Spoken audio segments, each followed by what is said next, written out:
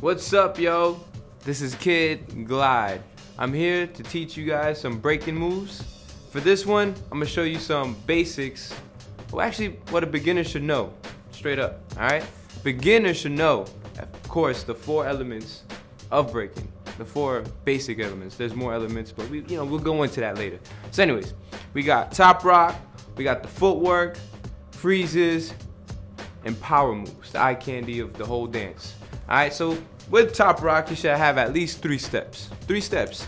Indian step, cross step, and at least a side step. So three.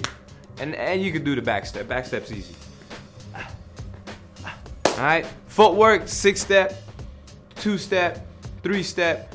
It's very important to have the six step. Um, kick, kick outs, step outs, and you should have all that in my first series. What I'm saying? I'm saying? I'm saying? Power moves work on first work on freezes to help you get the power, you know, the strength to get the power moves, such as tabletop, the baby, reverse baby, and then um, for swipes, I would say let's work on elevated chair. Elevated chair would look like this.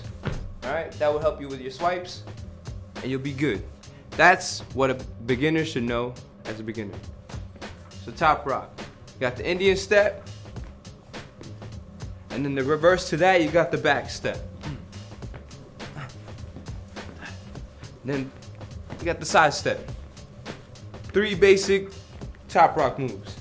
A little bit more advanced, but still beginner, is the cross step. You know what I'm saying? Then we got the footwork, step outs, pop, pop, pop, a little faster. Uh, da, da, da, switch hands. We got the kickouts. Oh snap, kick outside. And we got the six step, which I showed y'all previously. One, two, three, four, five, six. One, two, three, four, five, six.